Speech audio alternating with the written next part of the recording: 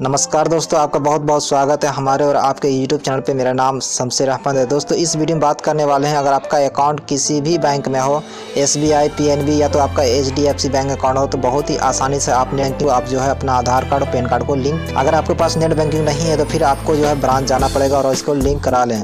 क्योंकि बहुत कराना भी बहुत ज़रूरी है। अगर आप नहीं कराते तो बाद में हो सकता है आपको दिक्कत का सामना करना पड़े। तो दोस्तों, मैं इस वीडियो में बताने वाला हूँ कि आप सी बैंक अकाउंट में कैसे अपना आधार कार्ड को, पैन कार्ड को लिंक कर पाएँगे। अगर आप जानना चाहते हैं तो इस वीडियो को ज़रूर लास्ट तक देखें, वीडियो कट ना करें। वीडियो थोड़ा सा भी अच्छा लगे तो वीडियो को लाइक एंड शेयर ज़रूर करेंगे।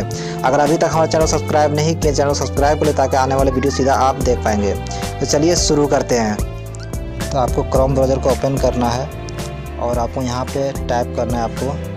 H D F C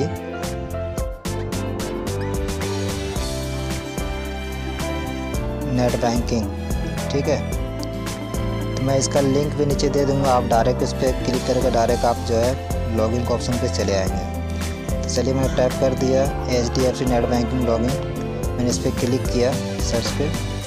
तो आपको इस तरह इंटरफेस मिलेगा। तो फ़र्स्ट जो लिंक है H D F C bank net banking तो इस पर आपको क्लिक करना है।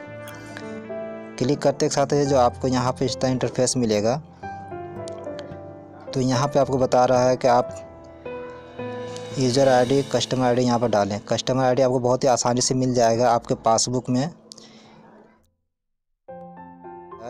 तो वो आप यहाँ पे डाल दें। चलिए मैं यहाँ पे टैप कर देता हूँ। तो मैंने यहाँ पे कस्टमर आईडी मैंने डाल दिया। उसको कंटिन्यू पे क्लिक करूँगा, ठीक है? कंटिन्यू पे क्लिक करने के बाद आपको इस तरह इंटरफेस मिलेगा। तो यहाँ पे आप आई पिन पासवर्ड यहाँ पर डाल दें। तो अगर आपको पासवर्ड याद नहीं है तो आप नीचे फॉरवर्ड पासवर्ड पे भी क्लिक करके आप पासवर्ड दोबारा ले सकते हैं। चलिए मेरा जो पासवर्ड है, मैं यहाँ पे डाल देता हूँ। तो मैंने यहाँ पे पासवर्ड डाल दिया। और please confirm your secure access image इस पर आप क्लिक कर देना। है मैं टिक कर दिया। और यहाँ पे मैं लॉगिन ऑप्शन पर क्लिक कर दिया। जब आपका अकाउंट लॉगिन जब पूरी तरह से हो जाएँगे तो आपको इस तरह इंटरफेस यहाँ पे मिलेगा। थोड़ा आपको जूम करके दिखाते क्योंकि मैं स्मार्टफ़ोन से कर रहा हूँ तो थोड़ा छोटा दिख रहा है। चलिए मैं इसको जूम कर हैं। जूम करने के बाद आप देख सकते हैं यहाँ पे जो लिखा हुआ आ रहा है लॉन्ग आउट ठीक है? तो आप उसके जस्ट बगल में अपडेट कॉन्टैक्ट डिटेल्स तो आपको इस पर आपको क्लिक करना है। चलिए मैंने क्लिक किया। क्लिक करने के बाद आपको दिखाते हैं।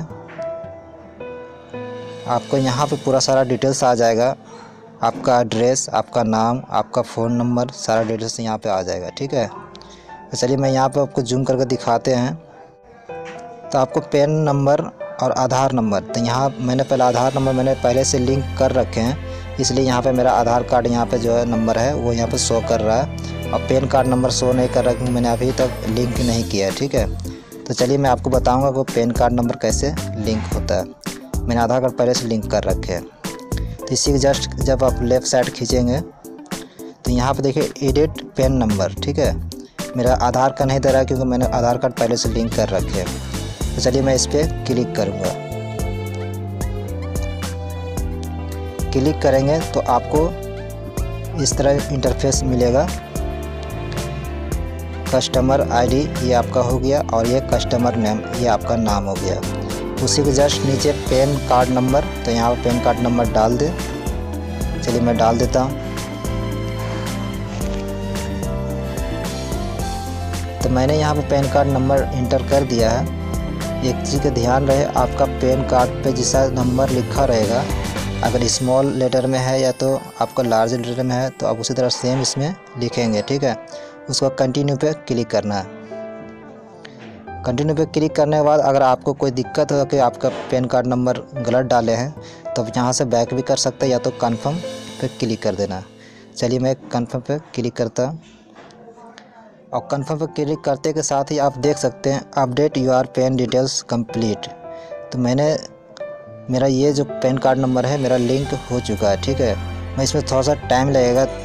थ्री वर्किंग डेज़ बता रहा है कि तीन दिन में आपका जो है, ये प्रोसेस पूरा हो जाएगा। तो ये बहुत ही आसानी से आप पेन कार्ड आधार कार्ड इस तरह से आप लिंक कर सकते हैं। आपको कहीं बैंक में जाकर लाइन लगाने की ज़रूरत नहीं है आप घर बैठे ही कर सकते हो। बसरते कि आपके पास ऑनलाइन के लिए जो है आपको नेट बैंकिंग होना बहुत ज़रूरी है, ठीक है? अगर आपके पास नेट बैंकिंग नहीं है तो आप घबराइए नहीं, आप जाके एटीएम में भी जाके कर सकते हैं एटीएम मशीन से।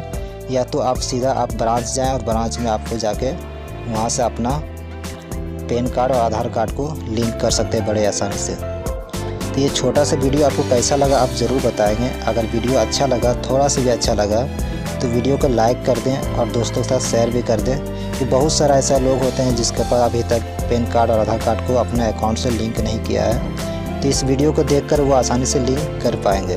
और हमारा चैनल को अभी तक अगर सब्सक्राइब नहीं किए हैं तो चैनल सब्सक्राइब कर ले ताकि आने वाले वीडियो सीधा आप देख पाएँगे। तो चलिए फिर मिलते हैं नेक्स्ट वीडियो में। खुदा हाफिज़।